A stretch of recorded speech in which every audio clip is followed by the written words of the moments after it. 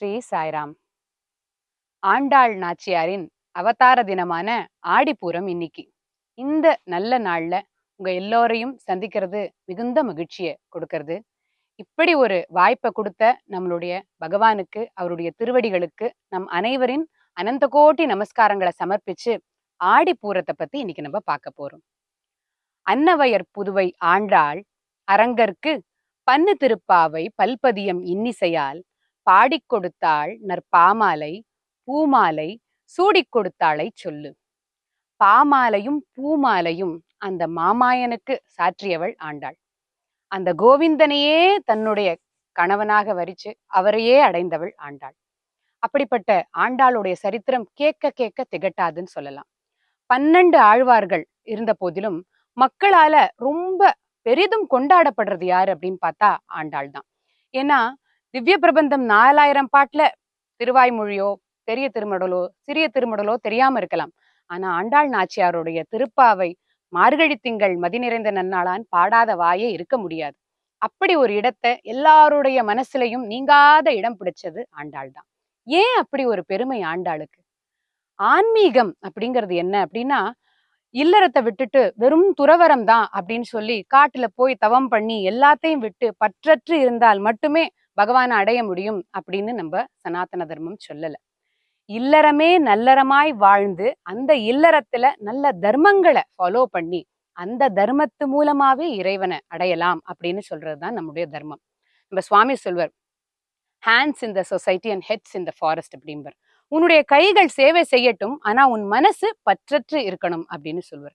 இதற்கு எடுத்துக்காட்டாய் வாழ்ந்தவர்கள் தான் அறுபத்தி மூன்று நாயன்மார்களும் சரி பன்னிரண்டு ஆழ்வார்களும் சரி குறிப்பாக ஆண்டாள்.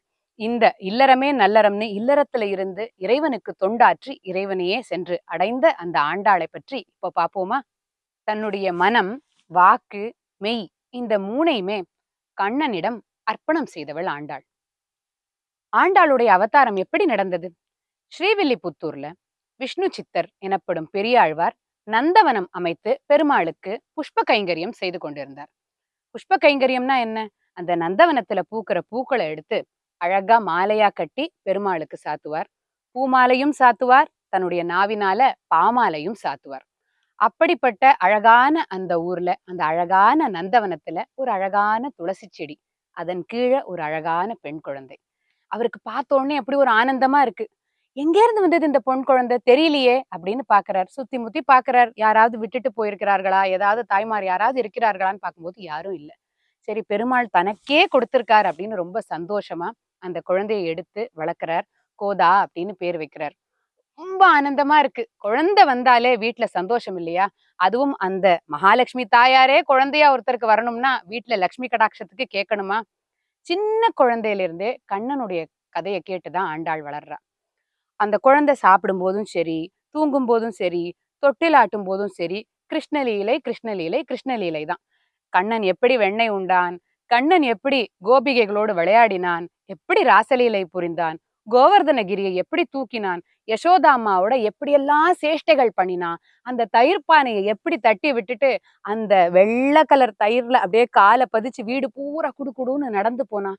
இப்படியே அந்த பிஞ்சு கண்ணனுடைய கதையை இந்த பிஞ்சு குழந்தையும் கேட்கிறது. சின்ன குழந்தையிலிருந்தே அவளுக்கு கண்ணன்னா கொள்ள ஆசை. நம்ம சுவாமி இதைத்தான் சொல்றார். நம்ம குழந்தையில கண்டிப்பா பால் விகாஸ் அனுப்பணும்னு ஏன் இன்சிஸ்ட் பண்ணி சொல்றாருன்னா அந்த வயசுல அந்த அஞ்சு வயசுக்குள்ள அந்த ஆன்மீக பயிர் அந்த விதை வந்து அந்த குழந்தைகளுடைய ஆழ் மனசுல விதைக்கப்படணும்.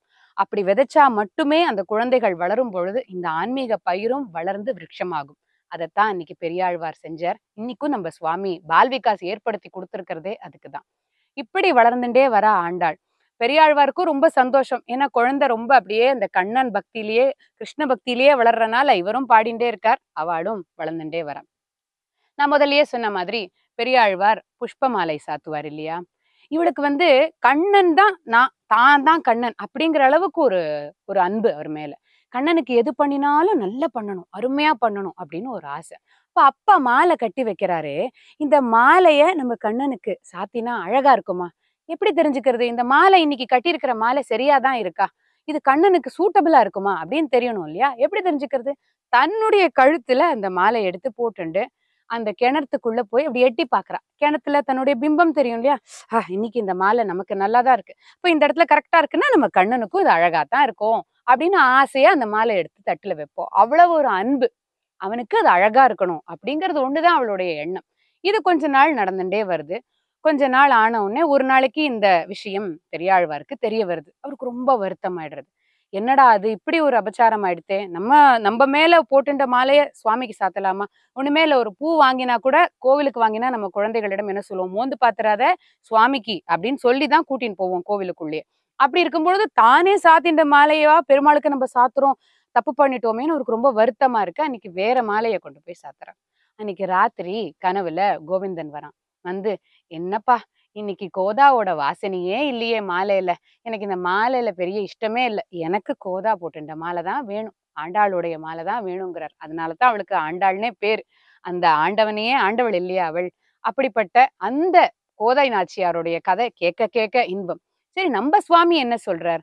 இந்த மாதிரி நம்ம செய்யறோமே இந்த மாதிரி சூடி கொடுத்த சுடற்கொடின்னு அவளை கொண்டாடுறோமே அப்ப சுவாமி என்ன சொல்றாருன்னா நீ ஒன்ன இறைவனுக்கு நைவேத்தியம் பண்ணும் பொழுது உன்னுடைய கண்கள் முதல்ல அதை பார்க்கறது நம்ம ஒரு பிரசாதம் பண்றோம்னு வச்சுப்போமே அந்த பிரசாதத்தை முதல்ல கண்ணால பார்த்துடுறோம் அது சமையல் பண்ணும் பொழுது அந்த வாசனை நம்ம மூக்குக்குள்ள போகத்தான் செய்யும். அதுக்கப்புறம் அதை தொட்டு அது வந்து இறக்குறோம். இல்ல அதை தொட்டு அதோடைய பதத்தை பார்க்குறோம் சோ நம்ம மெய்யும் அதை தீண்டுகிறது. ஆக உன்னுடைய புலன்கள் அதை அனுபவிக்கத்தான் செய்கின்றன. இந்த புலன்கள் அதை அனுபவிக்கிறதுனால மட்டும் வந்து அது வந்து ஸ்பாயில்டுன்னு சொல்ல முடியாது. உண்மையிலே உண்மையான நேவித்தியம் அற்புதமான நேவித்தியம்ங்கிறது என்ன அப்படின்னா இதயபூர்வமான அன்பு நிறைந்து எப்போ ஒரு அன்போட பக்தியோட இதயபூர்வமா ஒரு பக்தன் கொடுக்கறானோ அதுதான் உயர்ந்த நைவேத்தியம். கண்ணப்ப நாயனார் வாயில கடிச்சிட்டு இல்லையா கொடுத்தார் சிவபெருமானுக்கு அவர் ஏத்துக்கலையா? அப்போ அந்த அன்பைத்தான் இறைவன் பார்க்கறானே ஒழிஞ்சு இது தூய்மைங்கிறது நீங்க மத்- மத்தபடி அதை எடுத்து பார்க்கறனாலயோ இந்த இதை வந்து நம்ம சொல்ல முடியாது அப்படின்னு நம்ம சுவாமியே சொல்றார். அப்படி ஒரு சூடி கொடுத்த சுடற்கொடியா இன்னைக்கும் திருப்பதி பெருமாளுக்கு கல்யாண உற்சவம் தான் ஸ்ரீவில்லிபுத்தூர்லேருந்து ஆண்டாள் சூடி கொடுத்த மாலை தான் பெருமாளுக்கு போயின்னு இருக்கு இப்படி ஒரு அழகான சூடி கொடுத்த சுடற்கொடியான ஆண்டாள். இதே போல நம்ம சுவாமியோடைய வாழ்க்கையில நடந்த ஒரு இன்சிடென்ட்டையும் பார்க்கலாமா?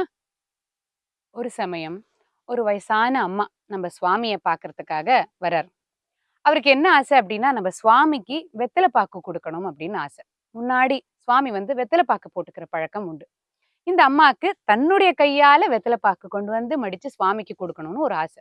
ரொம்ப ஏழை ஒரு பழுப்பேரிய ஒரு புடவை ஒரு பழைய துணி ஒண்ணு அந்த பழைய துணிக்குள்ள வெத்தலை பாக்க மடிச்சு எடுத்துக்கொண்டு வருகிறார். வந்து சுவாமியை பார்க்கறதுக்கு வந்து உட்கார்றார். இப்போ அங்க இருக்கிற வா சேவாதல்ஸ் எல்லாம் பார்த்துட்டு என்னம்மா? அப்படின்னோடனே எனக்கு என் கையால சுவாமிக்கு வெத்தலை பாக்கு கொடுக்கணும். அப்படின்னோடனே அந்த துணியை பார்த்தா கொஞ்சம் பழைய துணி கொஞ்சம் அழுக்கா வேற இருக்கு. அப்போ இவர்களுக்கெல்லாம் கொஞ்சம் ஒரு யோசனையா இருக்கு. ஏன்னா சுவாமி வந்து கிளென்லினஸ்க்கு ரொம்ப முக்கியத்துவம் கொடுப்பார். சிம்பிளிசிட்டி தான் ஆனால் கிளீனாக இருக்கணும். சுவாமியோடைய இளம் வாழ்க்கையை நம்ம படித்தா கூட ஸ்கூலுக்கு போகும்போது அவர்கிட்ட ஒரு ட்ரெஸ்ஸு தான் உண்டு. ஆனால் அந்த ஒரு ட்ரெஸ்ஸே அழகாக தோச்சு டெய்லி அதை வந்து அந்த பொட்டி கடியில் வச்சு அயன் பண்ணுற மாதிரி மடித்து நீட்டாக போட்டுட்டு போவார்.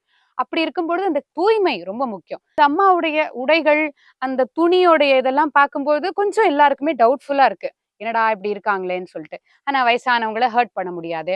அதனால அந்த அம்மாவை உட்கார வைக்கிறாங்க. ஒரு ஓரமா உட்காந்துக்கிறாங்க. லஞ்ச் டைம் ஆயிடுத்து. சுவாமி உள்ள போயாச்சு. சுவாமி சாப்பிட போயிருக்காரு. சாப்பிட்டுட்டு சுவாமி ஓய்வு எடுத்துட்டு தான் அப்புறம் தான் பார்க்க முடியும் தர்ஷன். அப்போ எல்லாரும் நினச்சிக்கிறா சரி இப்ப எப்படியும் பார்க்க முடியாது. இருக்கட்டும் பரவாயில்ல அப்படின்னு நினைச்சுக்கிறா. சரின்னு சொல்லிட்டு மத்தியான நேரங்கிறனால இந்த அம்மா கொஞ்சம் வயசானவங்க வேற. ரொம்ப டயர்டா இருக்கு. அப்படியே தன்னை மறந்து கொஞ்சம் அப்படியே கண்ணை செந்துடுறாங்க அப்படியே தூங்கிடுறாங்க லைன்ல உட்காந்த மணிக்கு. தூங்கின உடனே எழுப்பல அவங்கள. அவங்க பாட்டு இருக்கட்டும்னு விட்டுட்டாங்க. அப்போ ஒரு கொஞ்ச நேரம் கழிச்சு திடீர்னு பார்த்தா சுவாமியோடைய அந்த டோர் திறக்கிறது. கதவை திறந்து சுவாமி வேகமா அப்படியே நடந்து வர்றார். வந்து இந்த அம்மா கிட்ட வந்து நிக்கிறார். அம்மா நல்லா அசந்து தூங்கிட்டு இருக்காங்க. எல்லாருக்கும் என்ன சொல்றதுன்னே தெரியல. சுவாமி திடீர்னு வந்து இப்படி நிக்கிறாரே அப்படின்னு. சுவாமியோட வாய்ஸ் ரொம்ப ஸ்வீட்டா இருக்கும். அவ்வளவு ஒரு அழகான குரல் சுவாமிக்கு. அந்த அழகான குரல்லால அம்மான்னு வேற சொல்றார். அழகான வார்த்தை. எந்த மொழியில சொன்னாலும் அழகான வார்த்தை அம்மா. அதுவும் அவர் சொல்லணும். அது உலகத்துக்கே அம்மாவான அவர் வாயால இந்த அம்மா அம்மான்னு கேட்கணும். எவ்வளவு புண்ணியம் இல்லையா? அப்படி அம்மாங்கிற வார்த்தையை கேக்குறாங்க அம்மா நீங்க எனக்காக வெத்தலை பாக்கு கொண்டு வந்தீங்களே எனக்கு தரீங்களா? அப்படின்னு கேட்கிறார். இந்த உலகத்துக்கே ஜெகன் மாதாவான அந்த சாய் மாதா இந்த மாதா கிட்ட கேட்க அந்த அம்மா கண்ணு முழிச்சு பாக்குறாங்க. அவங்களுக்கு என்ன சொல்றதுன்னே தெரியல. கனவா நினவா இது உண்மையிலே நடக்குதா? நமக்கு தான் நடக்கிறதா? அப்படின்னு ஒரு ஆச்சரியம் ஆனந்தம் பரவசம் எப்படி வேணா வச்சுக்கலாம். சந்தோஷம். அப்படிலாம் வந்தா நம்ம என்ன ஆகும் கண்ணன் தனியா கொட்டும். கையெல்லாம் அப்படியே நடுங்கும். அப்படியே உடம்பெல்லாம் புல்லரிக்கும். எல்லாம் சேர்ந்துட்டு இருக்கு சுவாமி என்ன கேட்கிறாரு வெத்தலை பார்க்க கொடுங்கன்னு கேட்கிறாரு இவங்களுக்கு என்ன பண்றோம்னே தெரியல. அப்புறம் தான் தோணுது ஆமா நம்ம அதுக்கு தானே வந்தோம் அப்படின்னுட்டு. எப்படி துருவன் வந்து பெருமாளை பார்த்தோன்னே அப்பா மடியில உட்காரணும்னு சொல்லி கேட்க வந்தது மறந்து போச்சோ? அது மாதிரி இந்த அம்மாக்கும் மறந்து போச்சு. அப்புறம் அந்த துணியை உடனே எடுத்து "இதோ, ததறே சாமி. இதோ தந்துட்டேன் அப்படின்னு சொல்லிட்டு படப்படப்படன்னு நடுங்கி அந்த துணியை பிரிக்கிறாங்க. சாதாரண துணி தான். அதை பிரிக்க முடியல அந்த பதட்டத்துல. அந்த ஆனந்தத்துல. பதட்டம்னு கூட சொல்லக்கூடாது. அப்ப சுவாமியே அந்த துணியை அந்த அம்மா கிட்ட இருந்து வாங்கி எந்த துணி அழுக்கா இருக்குன்னு நினைச்சோமோ எந்த துணி பழசா இருக்குன்னு நினைச்சோமோ அந்த துணியை வாங்கி அதை ஓப்பன் பண்ணி அதுல இருந்து வெத்தலை பாக்க எடுத்து வாயில போட்டுக்கிறாரு. போட்டுண்டு அதை சுவைச்சு ரொம்ப ரசிச்சு ருசிச்சு ஆஹா என்ன டேஸ்டா இருக்குமா? ரொம்ப அருமையா இருக்குமா? எனக்கு ரொம்ப சந்தோஷம் அப்படிங்கிறார். அந்த அம்மாக்கு இதை விட என்ன வேணும்? பாக்கியம் இந்த ஜென்மால. அப்படியே ஆனந்தமா சாப்பிடுறார். சுத்தி இருக்கிறவர்களுக்கெல்லாம் பயங்கர ஒரு ஆச்சரியம் ஆனந்தம். ஏன்னா அவர்களுக்கும் இந்த பாக்குற ஒரு பாக்கியம் கிடைச்சதே. இந்த ரிலேஷன்ஷிப் தான் ஆண்டாளுக்கும் கண்ணனுக்கும். அவ கழுத்துல இருந்த மாலைய சுவாமிக்கு போடலாமா? நம்மள மாதிரி சுத்தி இருக்கிறவள்லாம் என்ன நினைச்சுக்கிறோம்? இத போட்டா தப்பு இல்லையா? அவ கழுத்துல இருந்த மாலை எப்படி பகவானுக்கு போடலாம்? இல்ல. தான் வேற அவன் வேற இல்ல. அவனுக்கு அழகா இருக்குமான்னு தாம் போட்டு பாக்குறா அவ. அப்படி ஒரு பக்தி அப்படி ஒரு நிர்மலமான மனசு. இது தப்புன்னே தோணாது. அப்படி இருக்கும்பொழுது அப்படிப்பட்ட ஒரு அன்போட கண்ணனை தொழுதவள் ஆண்டாள். நான் வந்து மனிதர்களை மானிடவர்க்கா என்று பேச்சுப்படில் வாழகில்லேன் அப்படின்னா அப்போ யாரை கல்யாணம் பண்ணிப்பேன்னா அந்த ரங்கனைத்தான் கல்யாணம் பண்ணிப்பேன். அந்த ரங்கத்துல அந்த ரங்கனையே வச்சு பஜிச்சவள் ஆண்டாள். அப்போ ரங்கன் எப்படி கல்யாணம் பண்ணிப்பான்னு பெரியாழ்வாருக்கு கொஞ்சம் ஆச்சரியமா இருக்கு. ஆனா பெருசா ஆச்சரியம் இல்லை. ஏன்னா பெருமாளே கனவுல வந்து அவ போட்டுட்ட மாலை தான் எனக்கு வேணும்னு சொன்னவர். மாலையை வாங்கின்றவர் மாலை மாத்தினாலே கல்யாணம் தானே. அப்ப ஏன் இவளை ஏத்துக்க மாட்டார்னு? ஸ்ரீரங்கத்துக்கு எல்லோரும் பயணப்பட அந்த பல்லக்கில ஆண்டாள் நாச்சியார் போக ஸ்ரீரங்கம் வந்தாச்சு. அந்த ஊர் அவ்வளவு ஒரு அழகு. இன்னைக்கும் வழிபாடுகள்ல இருக்கிறதுலயே மிகப்பெரிய கோவில் ஸ்ரீரங்கம் தான். அந்த கோவிலுக்கு போய் அந்த பெரிய கோவில்ல இருக்கிற அந்த பெரிய பெருமாளை பார்க்கறதுக்காக பல்லக்கிலேருந்து அப்படியே குதிக்கிறா. குதிச்சு அப்படியே சந்நிதியில போய் நிக்கிறா. அந்த ரங்கனை பார்க்குறா அதுதான் அதுதான் காட்சி. அதை பார்த்த கண்ணால வேற எதுவுமே பார்க்க வேண்டாமே. அவனுடைய கண்ணழகு என்ன? அவனுடைய மூக்கழகு என்ன? அவனுடைய கன்னத்துடைய அழகு என்ன? அந்த அருள் என்ன? அவனுடைய அந்த யோக நித்ரை என்ன? ஆஹா நாள் பூரா பார்த்துட்டே இருக்கலாமே. அவ்வளவுதான். அந்த காட்சி தான். அப்படியே ஒரு ஜோதி வருது. அந்த ஜோதிக்குள்ள அப்படியே ஆண்டாள் ஐக்கியமாயிடுறா. இறைவனோடே இணைந்துடுறா. இரண்டு ஒன்றானது. அப்படியே இறைவனோடு இணைந்தது. ஆண்டாளுடைய இந்த அற்புதமான கல்யாணம் அப்படிங்கிறது அந்த இறைவனோடே இணையிறது தான் ஆண்டாள் கல்யாணம். ரொம்ப புண்ணியமான ஒரு வரலாறு இது. அற்புதமான வரலாறு. திருப்பாவை நாச்சியார் திருமொழின்னு அப்படி ஒரு பக்தியும் அன்பும் ஒழுக ஒழுக சொட்ட சொட்ட பாடி கொடுத்த ஆண்டாள் நாச்சியார் அரங்கனோட கலந்தாள். எற்றைக்கும் ஏழேழு பிறவிக்கும் உந்தனோடு உற்றோமேயாவோம். உனக்கே நாம் ஆட் செய்வோம் மற்றை நம் காமங்கள் மாற்றேலோர் எம்பாவாய் எத்தனை பிறவி எடுத்தா என்ன ரங்கா? எத்தனை பிறவி வேணா கொடு. அத்தனை பிறவிலையும் நான் உன் கூடயே தான் இருக்கணும். உன்னதான் நினைக்கணும். உன்னதான் நேசிக்கணும். உன் மேல அன்பு செலுத்தணும். எனக்கு வேற எந்த ஆசையுமே வேண்டாம் பெருமாளே. அது ஒண்ணு போரும் அப்படின்னு கேக்குறா. நம்ம சுவாமி சொல்றாரு live in the world but love the Lord அப்படிங்கிறார். இந்த உலகத்துல இருங்கோ. இந்த உலகத்துல வாழுங்கள். எல்லா ஜீவன்களுக்குள்ளேயும் அந்த பகவானை பாருங்க நம்ம ஒரு ஒருத்தரையும் நம்ம அதனால தானே சாய்ராம் சாய்ராம் சாய்ராம்னு கூப்பிடுறோம்.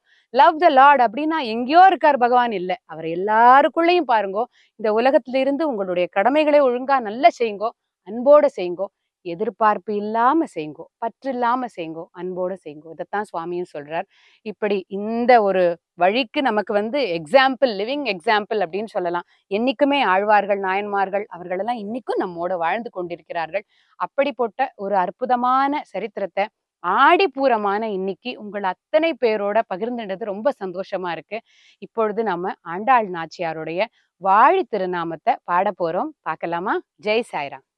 திருவாடி பூரத்து செகத்துதித்தாள் வாழியே திருப்பாவை முப்பதும் செப்பினாள் வாழியே திருவாடி பூரத்து செகத்துதித்தாள் வாழியே திருப்பாவை முப்பதும் செப்பினாள் வாழியே.